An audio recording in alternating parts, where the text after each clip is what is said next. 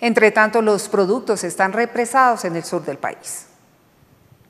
En la plaza de mercado de los dos puentes de la ciudad, los vendedores agradecen que hayan llegado algunos alimentos, sin embargo, los precios de algunos productos se han visto en alza hasta casi el doble del valor normal.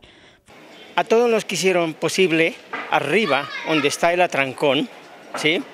de dar el paso a que a la ciudad de Pasto surtieran como es la gasolina y todo lo que estaba en la vía, en el camino. Entonces se puede decir, alguito ha llegado, ¿sí? Fruta que de pronto estaba quedada en, en la vía, algo llegó, algo surtió en el, mercado, apenas está empezando, ¿me entiende?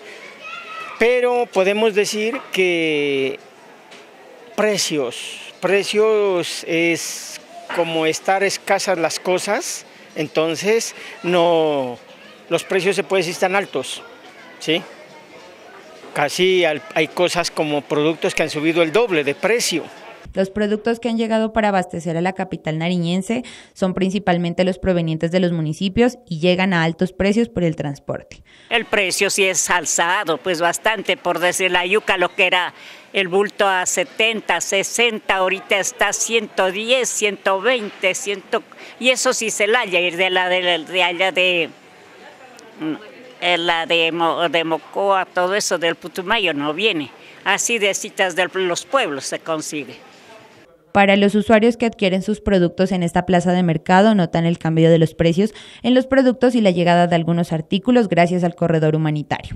En el mercado hoy más bien está un poco económico, porque hoy los demás días que estuvo en el paro, pues estuvo muy caro todo.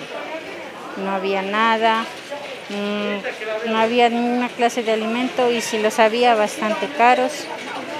Eh, pues con el día de hoy está ya más económico. La situación por el paro se ha visto compleja para varios sectores del departamento, sin embargo, las personas continúan apoyando el paro nacional porque lo ven como una justa lucha para beneficio de todos.